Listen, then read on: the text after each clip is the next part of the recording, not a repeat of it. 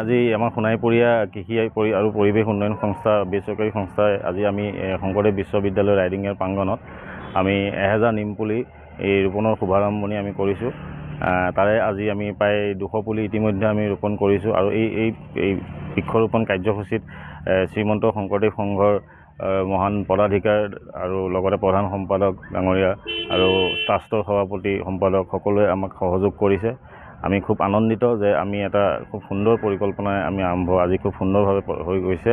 আৰু আমাৰ এটা লক্ষ্য আমি হেৰি কৰিছোঁ যে পাঁচটা বছৰৰ ভিতৰত আমাৰ এই বেচৰকাৰী সংস্থাই পঞ্চাছ হাজাৰ নিম পুলি আমি আহ, থানৰ মানে যিমানকি এৰিয়াৰ ভিতৰত থান আৰু লগতে আমি কিছু নগাঁও জিলাৰ কিছু শৈক্ষিক অনুষ্ঠানত আমি ৰোপণ কৰাৰ এটা পৰিকল্পনা যুগুত কৰিছোঁ। আৰু আমি আশাবাদী যে আমাৰ পৰিকল্পনা সম্পূ আমাৰ লক্ষ্য আমি স্থিৰ লক্ষ্যত আমি পাঁচ বছৰৰ ভিতৰত আমি লক্ষ্য যি স্থিৰ কৰিছোঁ তাক আমি সম্পূৰ্ণ কৰিব পাৰিম।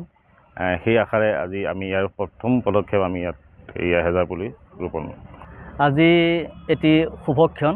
আমাৰ আজি পবিত্ৰ এই শংকৰদেৱ ইউনিভাৰ্চিটিৰ চৌহদত আমাৰ সোণাইপৰীয়া কৃষি আৰু পৰিৱেশ উন্নয়ন সন্থা আমাৰ এই সন্থাটোৰ দ্বাৰা আজি বৃক্ষৰোপণ অনুষ্ঠানটি আৰম্ভ হৈ গ'ল শুভাৰম্ভ।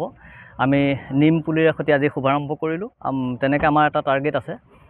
আমি বিভিন্ন অনুষ্ঠান সামাজিক তেনেকুৱা শিক শিক্ষা দীক্ষা এনেকুৱা অনুষ্ঠানবিলাকত আমি অকণমান নিম নিমৰ এটা পৰিৱেশ গঢ়াৰ মন আছে।